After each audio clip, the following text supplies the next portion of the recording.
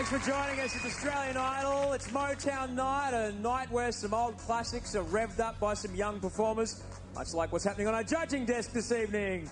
Guy Sebastian joining our judges. Are doing okay, mate? It's good. Great. It, it must be strange sitting there and, and A little bit.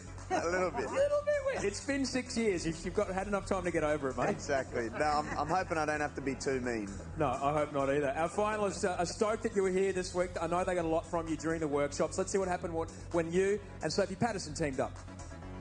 If Sophie keeps doing performances that are really inward, that are, that are really subdued and folky, I think that's only going to take you so far because this is Motown week. You know, she's really got to come out of herself a little bit.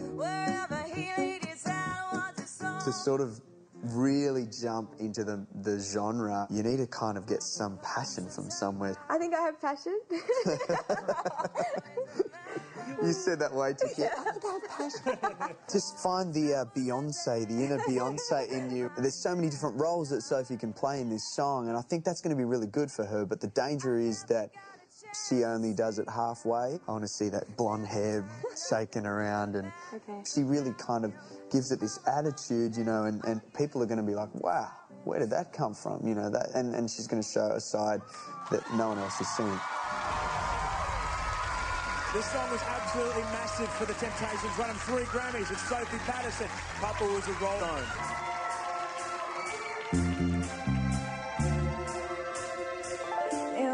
Third of September. That day I'll always remember. Yes, I will. Cause that was the day that my daddy died. I never got the chance to see him. Never heard nothing but bad things about him. Mama, I'm dependent on you to tell me the truth. Just hung her head and said, Papa was a rolling stone. Wherever he laid his hat was his home. Oh, he left us. Hey, Mama, is it true what they say that Papa never worked a day in his life? Mama, I'm depending on you to tell me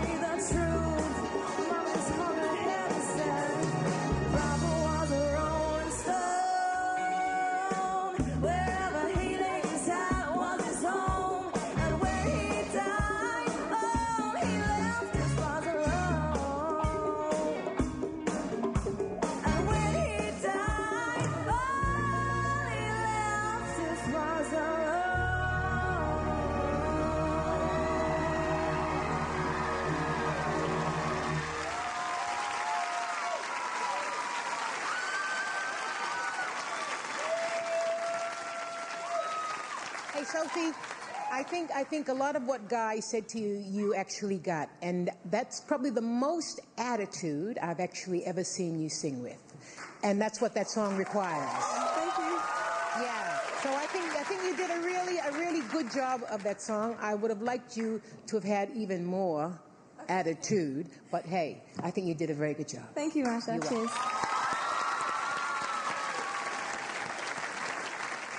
Sophie, I think for me that was, um, I mean, that, that was a, a good song choice in the way that it, it showed a different sort of side to you. You know, you've sort of sung a lot of folkier songs which are a bit more breathy, but you gave that, you know, some real guts at that time. And, and but I, I agree. I, I probably would have liked to really see you go for it. I think to kind of show that next level, Sophie. I think for you to just, you know, kind of really get into it would have would have kind of been that.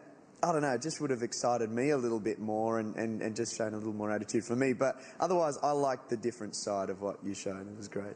Thank you, guys. Cheers.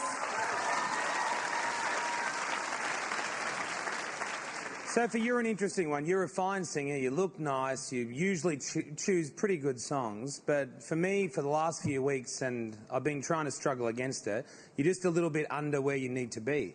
And I suppose as everyone else develops, you might be the slow growing flower that hasn't bloomed yet. That's, but you know, you haven't got much time left. To me, started off good. I like the feel of it. But by the end, it was a little screechy and annoying from where I sit. Dicko? Yeah, Sophie. Look, um, it's Motown week. great retro look, although it's more Doris Day than Diana Ross, I have to say. Uh, nothing wrong with that. You've got um, like a, almost like real sour tones in a, a really nice, distinct alternative folk voice. I have to say though, for the second half of that song, I did not recognise it. I don't, I didn't recognise the melody. And there's a difference between interpretation and mutilation. For me, that's what that was. Really didn't like it. Okay, thank you. Thank you. He just said. He just said you mutilated it. Why did you choose that song? It's a cool song, cool funky song. Is it, was your papa a Rolling Stone? No, my dad's great. Oh, good. That's good. That's Love it. you, Dad. Love you, Dad. Uh, if you don't want to see Sophie in the bottom three tomorrow, then you've got to vote for her. 1902 552 Or you can SMS Sophie to 191010. We'll open the voting lines a little later in the show.